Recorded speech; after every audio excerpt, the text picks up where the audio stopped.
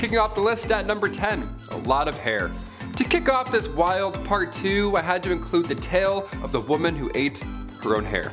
Why did she do it? What happened? How much hair? Well, let's find out. All the questions about to be answered. The Liverpool Daily Post back in 1869 got the attention of those passerbyers with this one. A 30-year-old passed away in the village of Lincolnshire. That's not too far off from the average life expectancy of the 1800s, but this case, this case was a little odd. Something was off about it.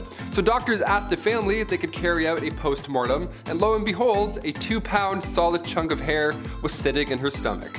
It caused ulcerations of the stomach and ultimately caused her death. What a horrible way to go out. The woman's sister did note that over the last dozen years or so, she had been casually eating her own hair, just one piece every now and then. Ultimately, it added up. If you know anybody that's eating their own hair, pass this on. Send them this video. This sounds rather uncomfortable. Number 9.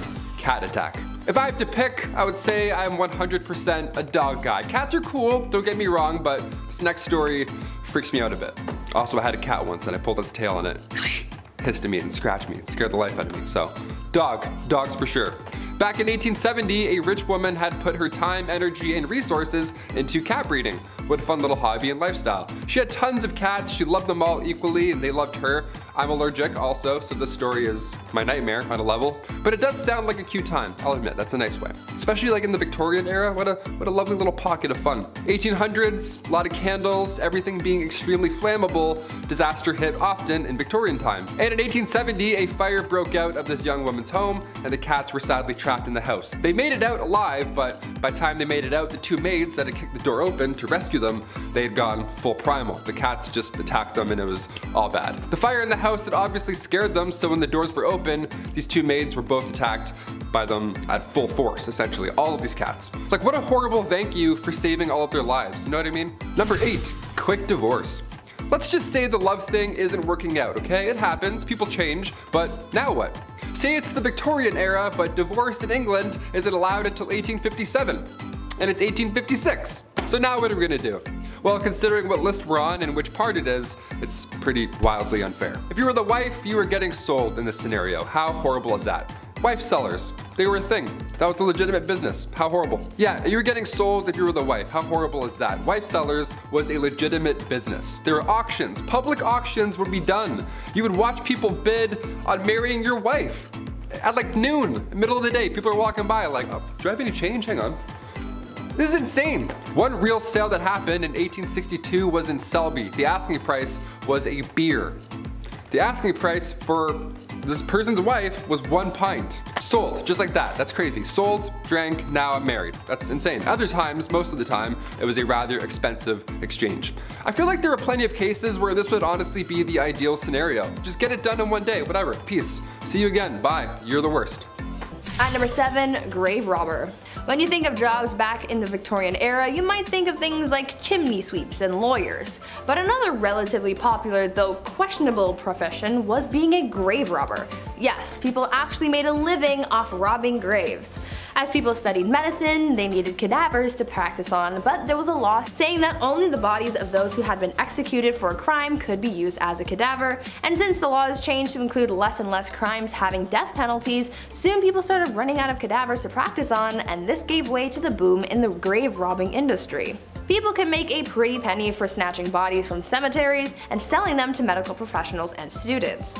Fresher bodies went for more money, and the grave robbers not only made money off the sale of the cadaver, but they also charged a fee, so they ended up with a little extra cash in their pockets. Eventually, the grave robbing business became such a big problem that cemeteries started installing watchtowers and guards to prevent people from getting away with the dead. At number 6, beauty. I've talked about this before in some past videos, but the Victorian era was famous for its strange beauty practices, so I just had to include it on this list. You're probably familiar with the makeup from the Victorian era. Women often painted their faces white to look as pale as possible, but even though they believed it made them look beautiful, it also did a lot of harm to their health. The white face paint that women would use was lead based and as we all by now, lead makes you dead. But this white lead paint isn't the only thing that harmed people's skin. Women would also wash their faces with ammonia to make their skin look paler. At night, women would rub opium on their faces, and if they were really dedicated to their beauty regime, they would also ingest arsenic. They were literally poisoning themselves in the name of beauty. Women would also use mercury on their eyebrows and eyelashes and would use lemon juice or belladonna in their eyes, which could cause blindness in some people. Once again, I'm glad things have changed. At number 5, no divorce.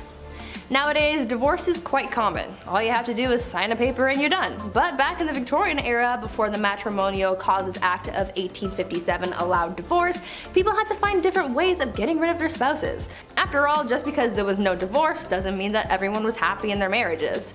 It turns out that in order to solve their problems and get rid of their spouse, people would just sell their wives, either in public or in private sales. Most of the time a man would take his wife to the town square and just sell her off to a new man. According To some records, some women had the power to veto a sale, and sometimes it was for cash. Though I think the cheapest that a wife was ever sold for was a pint of beer. This wasn't necessarily bad for the woman because if she was sold to someone else, things could sometimes work out and she could live a better life with a better spouse. And if she didn't, then she would just get sold again and get to try her luck with a new man. At number 4, food additives. These days, people are becoming more and more concerned with artificial additives in their food. All natural, organic, pesticide, and hormone-free food is becoming more and more popular, but back in the Victorian era, people were putting all kinds of additives in their noms, and a lot of it was really, really bad for you. Like we're talking deadly. Chalk and alum were often added to bread dough to make it whiter, and sometimes pipe clay, plaster of Paris, or sawdust was added to the mix as well. Red lead was sometimes added to cheese, lead was added to cider, mustard, wine, sugars, and candies. Copper sulfates were used in preserving fruits, jams, and wine. Mercury was used in candies, and even ice cream was made using a water and chalk mixture. All of these unsafe ingredients are actually what prompted the food safety industry because no matter what's going on, you shouldn't be eating lead, chalk, and mercury. Number 3. The Kensington System. Ah, oh, this was horrible. Queen Victoria was brought up under the Kensington System, which if you haven't heard of before is awful. I was grounded more often than not growing up, I'll admit, you know, I was the youngest of three, so I tried some shady stuff every now and then, but this, this is another level. At least I could go to the washroom without supervision, you know what I mean? Yeah, buckle up. Victoria's mother, Duchess Victoria of Kent, she created this Kensington system to control her daughter. She literally isolated the child from friends, family members, anybody, everybody, you name it. Her mother would monitor her every action on top of this, including who she can see or speak to, if there were any of those people at some point. Victoria only had two playmates growing up her entire life. She had her half-sister, Princess Feodora of Leiningen, and then the Duchess attendant, Sir John Conroy, his daughter, Victoria. I mean, I had like four friends growing up, you know, maybe five, five and a half, but this is just cruel. This is just unfair. Especially with a royalty too, you'd think you can have more things. No, less. She shared a room with her mother until she was a queen. That entire time, she literally couldn't walk down the hallway alone. Victoria has reflected on her childhood, and yeah, in case you're wondering, she hates John Conroy. She referred to him as a demon incarnate, so she's got the words. Number two, arsenic dresses. If looks could kill, literally. You've heard of arsenic and old lace at some point, but what exactly are we talking about? Back in 1861, a poet by the name of Henry Wadsworth Longfellow, real name, his wife, Fanny, also real name, her dress caught on fire and her burns were so bad that of course she sadly didn't survive. But this was sadly common in Victorian days. Puffy dresses, open candles, as we heard earlier. These dresses back then, they were flammable as is, but some of them were made with literal poison. Some of them had arsenic made to have that like green look, like the real arsenic green look. It wasn't just in clothing either. Back in 1861, an artificial flower maker named Matilda Scheurer used green arsenic laced powder and her fingernails had turned green and green foam started coming out of her mouth and it was just a horrible way to go out. Arsenic is not supposed to be inhaled, let alone worn. Although yeah, it did look nice for a hot minute. Not worth it. And finally, number one, Queen Victoria's threats. Being the queen and all, and we're talking about the Victorian era, I figured we'd end with this one. Being the queen and all, a security team is always needed, and during her reign, there were multiple, multiple attempts to harm the young queen. The first attack was back in 1840. It was an 18-year-old man named Edward Oxford, and he fired towards the queen's carriage, but obviously and luckily missed. But when Edward was accused of high treason, he was actually found not guilty due to insanity.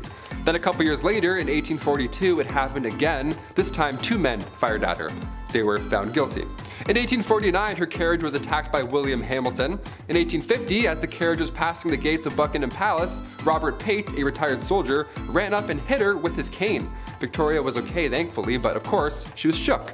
Then again in 1842, 1849, and 1872, attempt after attempt. But then things got a little worse. If you haven't heard of Boy Jones or anything that happened here, I saved it for last because it's extremely unsettling. A teenager stalked the Queen back in 1838 until 1841. Edward Jones, aka Boy Jones. This guy somehow managed to break into Buckingham Palace more than once. It was some Assassin's Creed type stuff. He just knew some back way, climbed some window or whatever. The guy just knew a route in, so he would break in and would more often than not just hide under the Queen's sofa. He would sit on her throne sometimes, and one of the worst things ever, he would go through her drawers and like go through her clothes and stuff. It was creepy. He would steal her clothes until eventually and thankfully he got caught. Of all the things you can do, of all the crimes you want to commit in the Victorian era, you're gonna go hide under a couch for five years? Okay, I'm glad he got caught, but just so weird. What a weird ending. Number 10, Mudlarks. Victorian London. Around the 1840s, it was a bit of a mess. Yeah, a lot of sore throats, that's for sure. Everybody was sick all the time and the jobs that were available certainly did not help the cause. The jobs that were available had you catching rats and crawling into sewers. One of the worst jobs to have was that of a mudlark. As their name hints towards, a mudlark involved getting in deep in the muck that builds up alongside the Thames River. This one was reserved for younger folks, obviously, because it was like working in quicksand. If you were older, you would just get trapped. It was pretty sad. It was also exhausting, not to mention the chances of being washed away by the river were pretty high all for the slim chance of finding a pocket watch, driftwood, rags, anything really worth your troubles. Number nine, chimney sweep. I remember when I was younger, I had to sweep the chimney in the house every now and then, whatever, and I personally, I loved it. You know, I thought I was the father of the house for a bit, getting in the chimney, getting all dirty and stuff, doing this, my hands on my on my waist. I don't know, that's, that's what a man was when I was younger. That little broom too, I love that little broom. I remember when I would do this, my grandmother, who is very English, she would be shook. She would watch the entire time. She would be taken back into time. Because this was a terrible job to have in Victorian London. I was yeah, it was not the same at all. Chimney sweeps were famously young. I can't say anything else there in regards, but yeah, they were wee lads, to say the least. History is horrible. 1840 was a good year, all things considered, because a law was passed that then made it illegal for anyone under the age of 21 to climb in and then clean a chimney. Thank, thank God, I'm glad that stopped. I was 18 cleaning my chimney. I had no idea I could have used this great law. Been like, actually mother, a lot of claws. Number eight, funeral mute. Funerals suck, man. I was a pallbearer like three times before the age of 21. My one arm is just strong as now, that's it. I can lift anything just with one arm. I thought being a pallbearer had a lot of pressure, right? Victorian London, saw many, many funeral mutes. Oliver Twist, one of those lousy jobs in that tale was that of a funeral mute. Funeral mutes were required to dress in all black with a sash while carrying a long cloth covered stick and your job would essentially be to stand and mourn silently at the door of the recently deceased home. Yeah, guy dies of a plague and you're like standing there like holding your breath like great, this is the worst job ever. You would then lead the coffin to the graveyard, so a lot of responsibility. Yeah, don't trip or breathe. Number seven, the Great Famine. We're gonna lean out a wife selling for a hot minute and include the boys for this one. Yeah, come on back in, you're all guilty. The Great Famine took out everybody, not just Victorian women of course. Back in 1845, potato crop that a lot of the Irish population was relying on was no longer available all of a sudden. A group of microorganisms just wiped them out, just like that, and in result, around 1 million folks died or had to leave. It was draconian law and British ruling that made the exported food hard to reach people that really needed it. So this famine led to Irish independence and anti-union movements. Little fun bit of history I had to include in this one. Number six, the Brooklyn Theater Stampede. And we're back to absolute horribleness. Here we go. I love the theater. When the pandemic shut down plays, I actually felt pretty sad. I like sitting in full rooms watching a guy in a fake wig monologue about Mozart. Like that's my ideal Saturday night. That's the best. I don't want that to not be a thing anymore. I love theater. But today we have an obnoxious amount of distractions that can take you out of the experience. Guy's texting fighting his ex-girlfriend two rows ahead of me. I'm trying to watch Joseph in the amazing Technicolor Dreamcoat. I'm like, man, it's not the same anymore. Theater's not the same anymore. Turn off your phone. Throw a tomato at him. It can be distracting. Exit signs can also be pretty distracting. But we need them. We definitely need them. Because in 1876, the Brooklyn Theater caught fire after a single lantern fell over on stage during a performance. This was 1876. Everybody was wearing flammable attire. There aren't emergency exits yet. A fire marshal hadn't come in and counted heads at this point, so it was a disaster. 278 people lost their lives. A monument was put up after the incident. It shook the town. It was absolutely horrible. I read about this and I was like, that's horrible. We got included in. This is a horrible list. Number five, the hobble skirt. Yeah, so when people can't get out of burning theaters, it's stuff like this to blame. Just from this 1910 headline alone, I'm glad we don't have hobble skirts anymore. The June 12, 1910 headline reads, The hobble skirt is the latest freak in women's fashions. The latest freak. Skirts that are so tight around the ankle that locomotion is seriously impeded and speed is impossible. Nice. I'll take two, debit. Doesn't that sound like a bad time? Why would anyone want this? Sounds like you're gonna be late for everything. French designer Paul Poiret made these to free the bust, to free the, you know, hmm, have a lot of room in here, whilst shackling the legs. So you in turn have to, you can't move. Just what you need to move around uneven stone roads, I guess. Love the practicality on this one, Paul, thanks. Despite how ridiculous and unsafe the hobble skirt looks and acts, only the wealthy could afford such a thing. Shoot, oh man, must be nice. I'll just be over here wearing jeans like an idiot. Middle and lower class women wore skirts with slits or buttons so they could, you know, actually walk around. Yeah, what fools. Oh, sorry, you want a button? I don't speak broke, sweetie.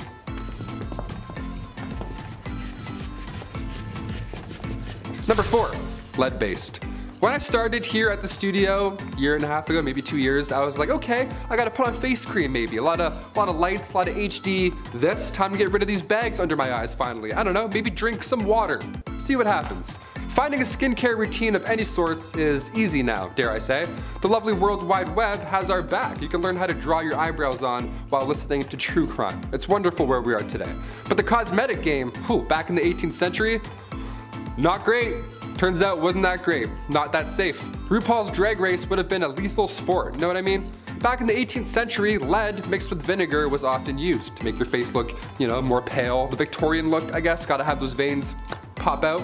A splash of sulfur for those freckles. Horrible idea.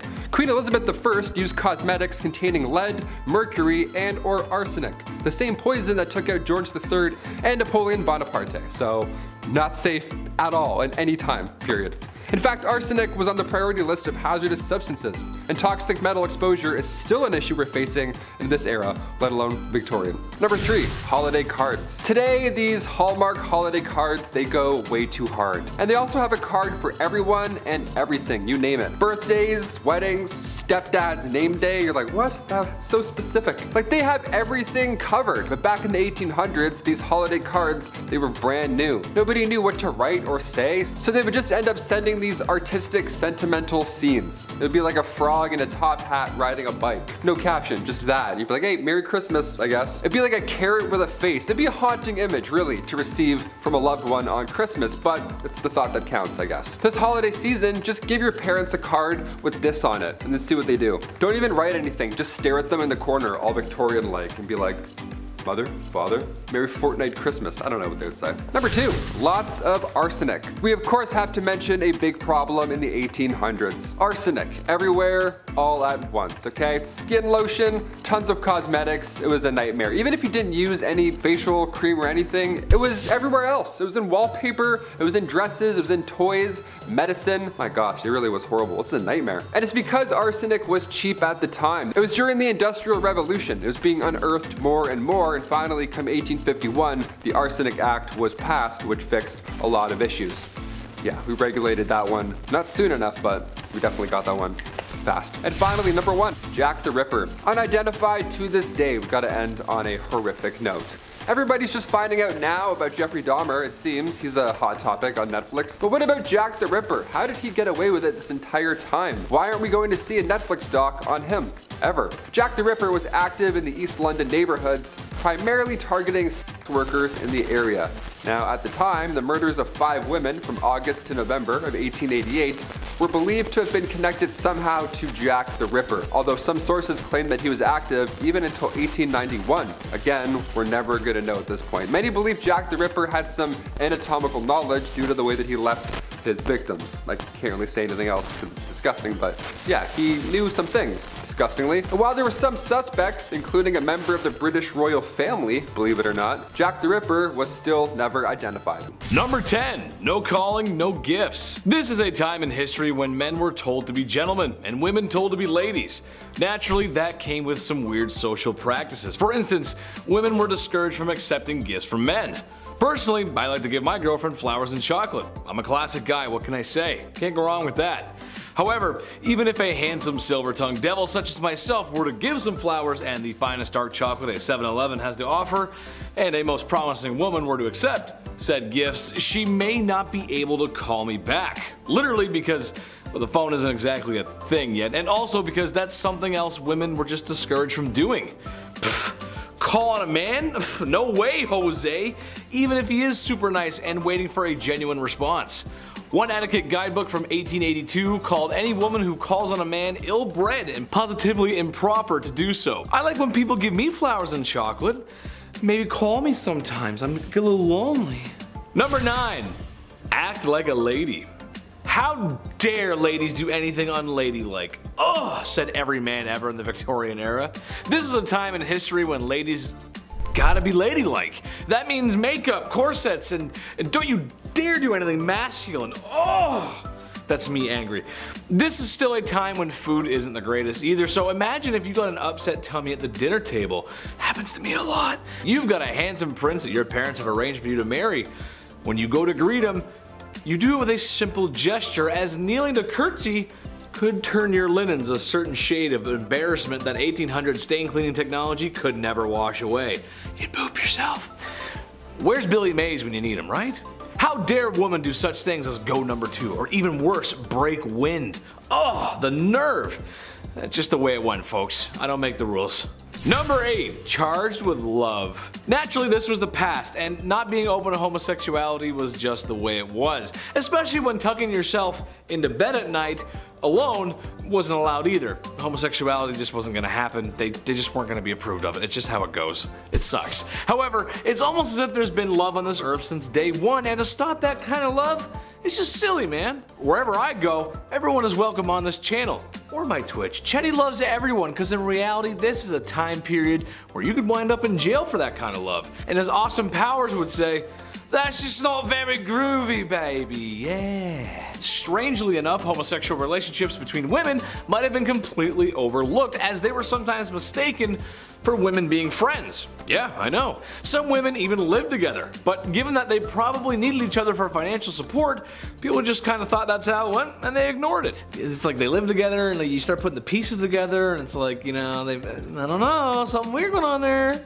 But love everybody, come on, be nice. Number 7. Toilet troubles. Now, the Victorian era was unsanitary, to say the least, but it was also dangerous in ways that you wouldn't expect, right? Go to the bathroom and may not come out. One of the greatest Victorian inventions was that of the bathroom, but it took a few tries to figure out the whole, you know, methane gas problem. We gotta really deal with that one first and foremost. Spontaneous combustion of the bathroom was weirdly common. This would, uh, this is every time you take a shit, you were worried that you might just Woo! It was horrible, that's so scary. Flammable gases like methane and hydrogen sulfide, they would build up over time with human waste. Human, a, a, a, lot of human waste. Built up in the sewers and then eventually would back up into your homes. Next thing you know, you're lighting a candle and your bathroom's gone.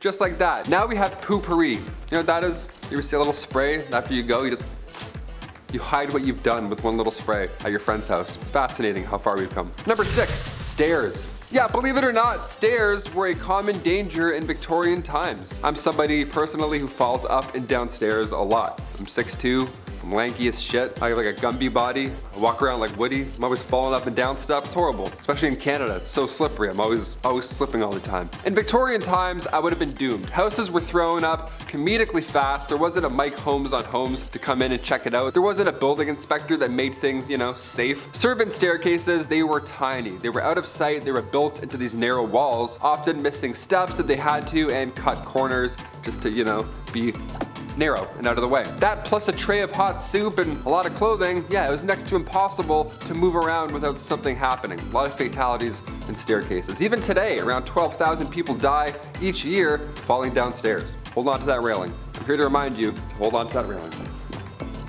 It's crazy. There's actually no stairs there. I just made that whole thing up. Hit that like button for magic. Number five, Burke and Hare. Medical schools were offering a handsome fee for deceased bodies to study. This was this is an odd time. So an unhealthy amount of Victorians came up with this new solution. They thought they were brilliant. Yeah, they would rob graves. They would just go and rob the freshest graves they could find. They would wait in the bushes until the funeral's over and then they would go and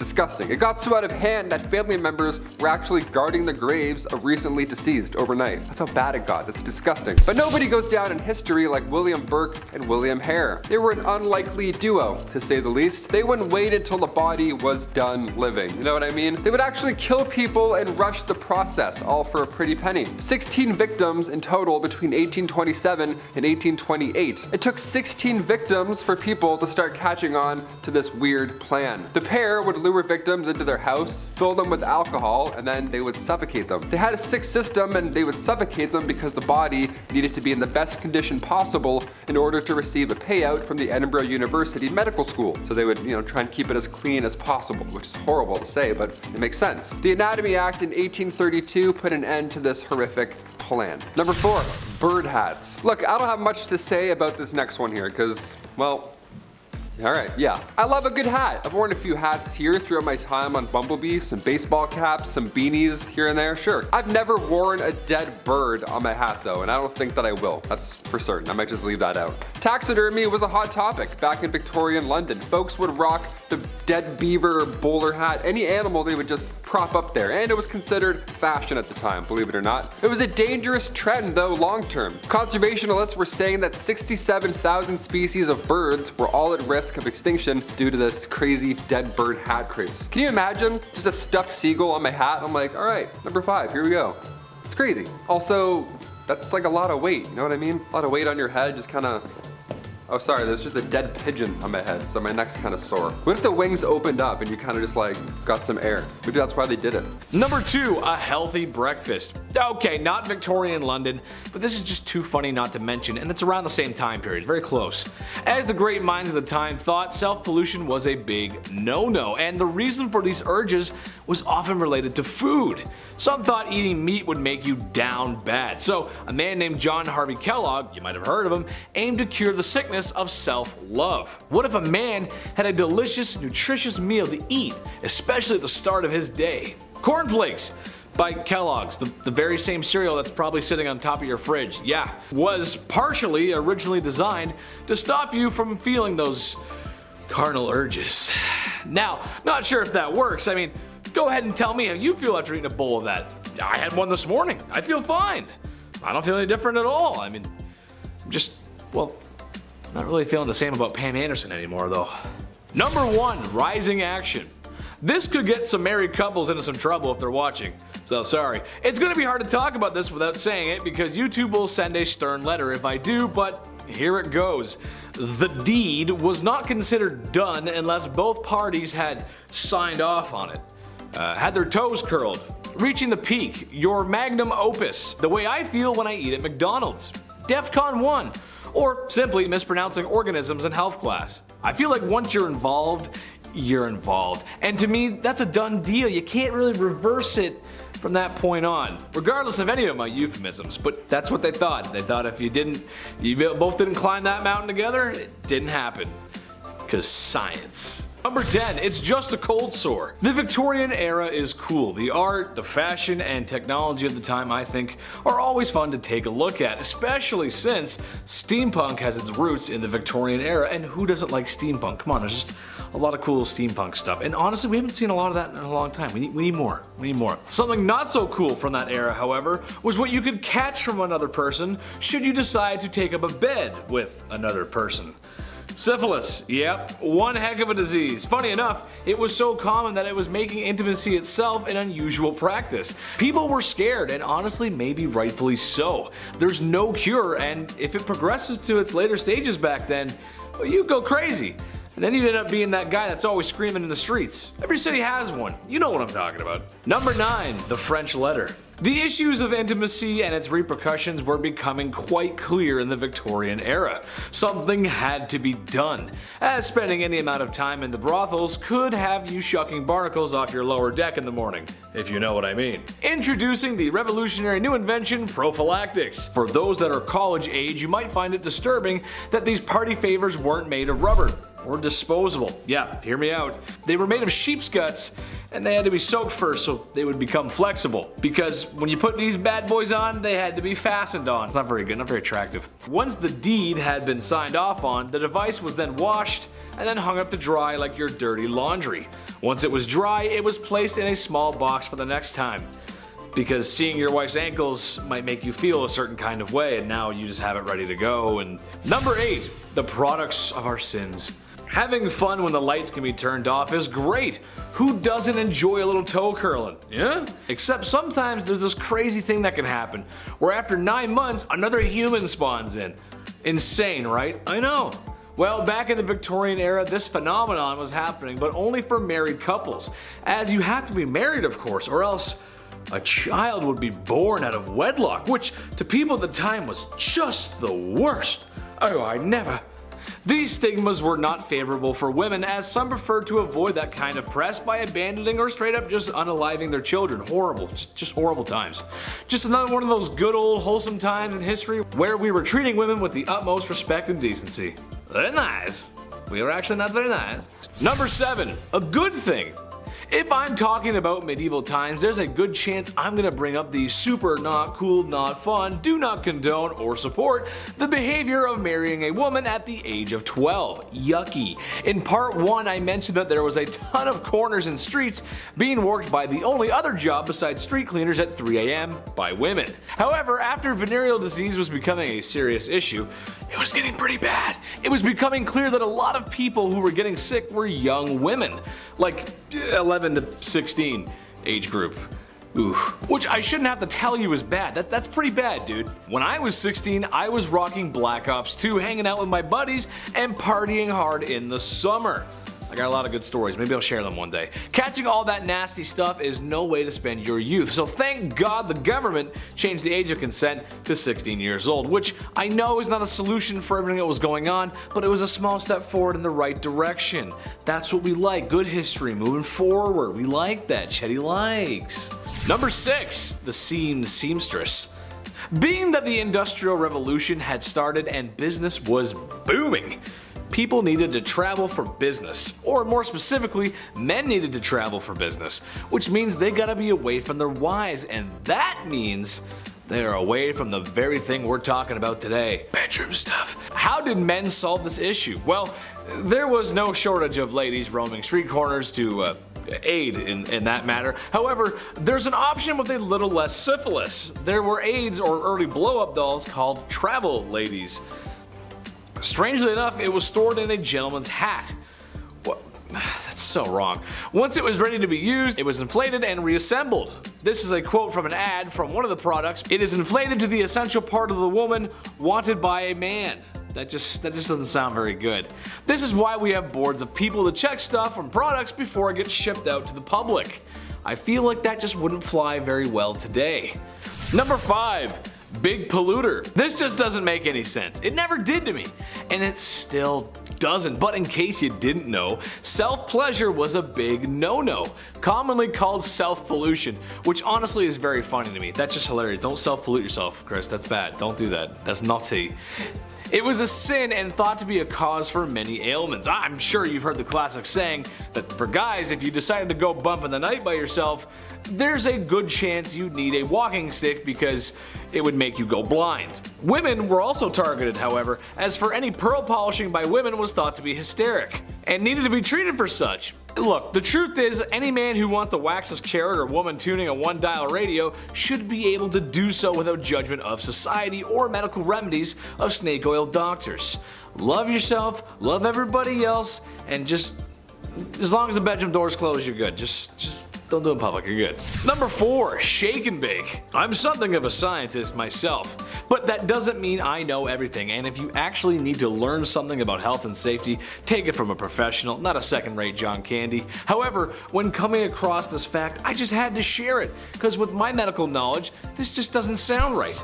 Alright, so kids, we know how they're made. I don't need to go into detail for that. However, there was this idea back in the Victorian days that if a woman danced shortly after doing what mommy and daddies do, eh, then there was a chance that her pregnancy just wouldn't happen. Or perhaps more commonly after riding a horse. S same idea. Uh, okay. Which is frankly horse. I mean, come on. My mom always told me when she was baking that I had to be quiet and stop running around the house or the cake she was baking wouldn't rise. Well, they always did. I love chocolate cake. I mean, really, I do. I'm starting to wonder if there's a connection here.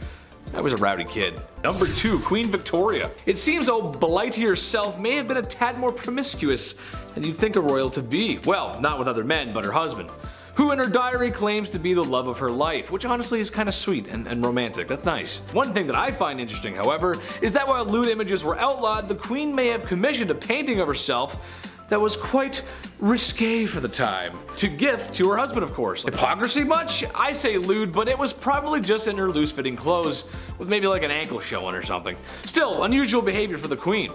I'll remember that for next time, Bly. I'll remember that. Number 1. Prince Albert. If you've ever stepped foot into a tattoo parlor, then you might know where I'm going with this. Prince Albert, the husband of Queen Victoria, had some controversy circulating his name. One, because he shares a name with another Prince Albert who was speculated to be Jack the Ripper, but also because of a very unique piercing. Go ahead and take a guess where that piercing is. Yeah, I didn't think so. As a man, if your anatomy could be described by an internet comedian using moderately funny euphemisms, then the piercing would go through your German army helmet. That makes sense, right? The horror. The absolute horror. It's rumored that he had one of these piercings. Did he? Uh, I'm not sure. But if it means anything to you, Nicholas II had a tattoo, so it's not completely out of the realm of possibility. At number 10, death photography. Has anyone out there looked at really old photos and had that eerie thought that everyone in that photo is dead now? I have.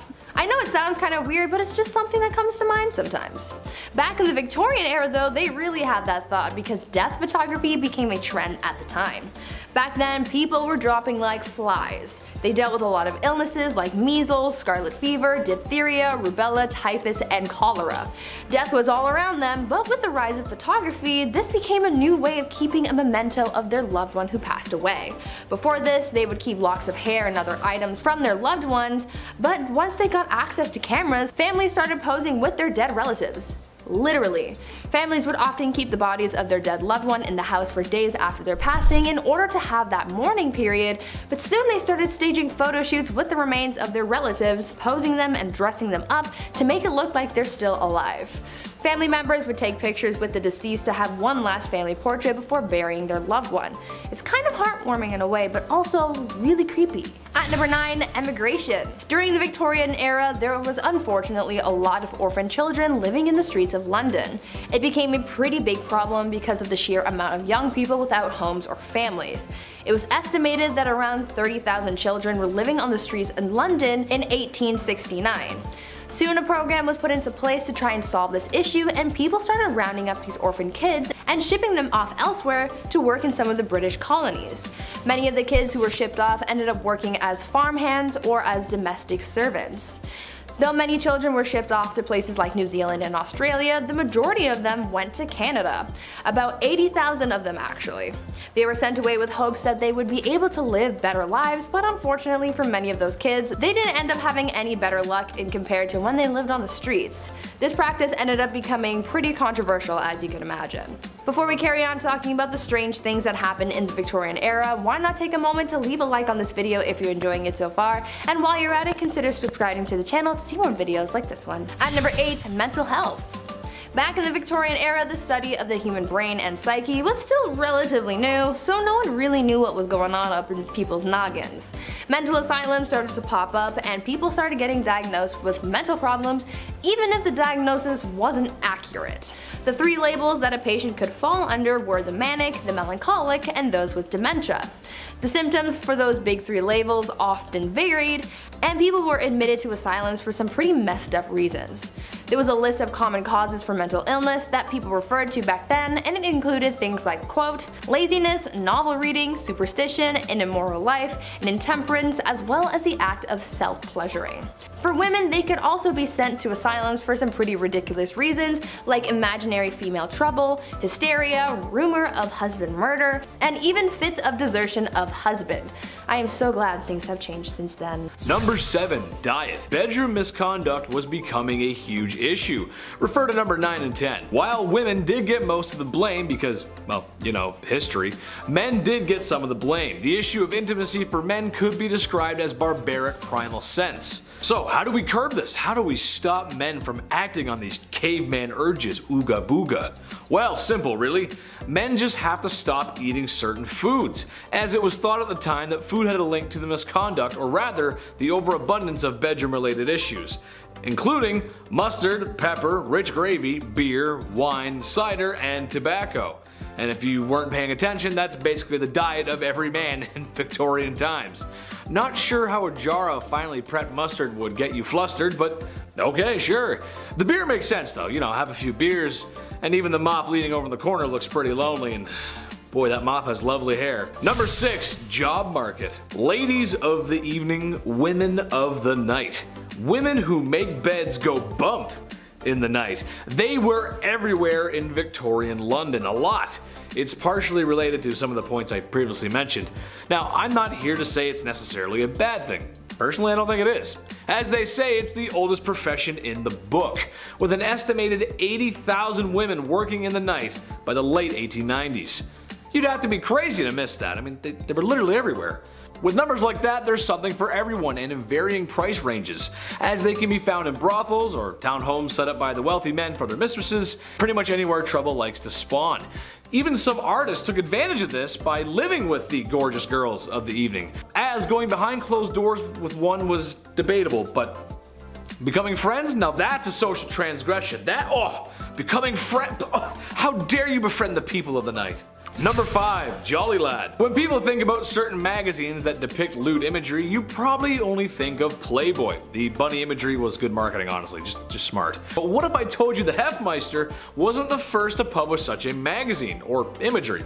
Back in the Victorian era, there was some saucy imagery being produced. The government had outlawed such indecency, but this only made the lewd picture industry move underground, where naturally it flourished especially in major cities. And if you knew where to go and how to ask for one, you could purchase something from the hidden menu. Kind of like when you go to McDonald's. Yeah, there's a hidden menu there too. Google it and see for yourself. I'd repeat what my favorite one is, but I would be in trouble from the YouTube gods. And I've been treading on thin ice this whole video, so uh, Number 4. The first counterculture. The 1960s were a very important time for many different people. Black Americans were fighting for the rights, music went from holding hands to strawberry fields, if you know what I'm saying, and everything that your parents told you just, just kind of felt wrong. If you grew up then, you know what I mean. I know people like to make fun of hippies, but there was some good ideas there. Well, in 1890s England, they were sort of having the same thing happen. Obviously, not as strong as a push as it was in the 60s, but still.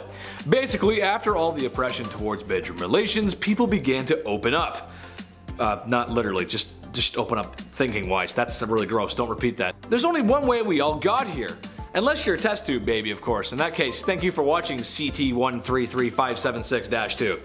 To some historians, this makes sense. When you push and push for things to happen or ban, eventually people will push back, especially if it's something like bedroom time. Everybody, everybody likes a little bit of bedroom time. Valentine's Day wasn't too long ago. Remember that? It was good. It was fun. It was good, good fun. At number 3, corpse medicine. Now earlier I mentioned the whole grave robber industry and how that really took off during the Victorian era, but now let's talk about how they used corpses in their medicine. Back then some people believed that consuming certain parts of the human body could cure their ailments. I know, Gross, right? One of the more popular medicines back then was a mixture made with human skull and chocolate, and it was believed to cure apoplexy. Back in the Victorian era, medical texts were published describing what parts of the human body could be used to treat specific ailments. One text described mixing the skull of a young woman with treacle to treat epilepsy. Another text says that you could treat paralysis with a candle made of human fat. Apparently, executioners were linked to this type of medicine as they would, you know, execute someone and then use the remains to become a doctor and treat people's illnesses. Imagine Grey's Anatomy, but with Victorian medicine. Sounds like an interesting thing to watch, but also probably not to experience. At number 2, mummies. Speaking of dead people though, people from the Victorian era were oddly fascinated with mummies.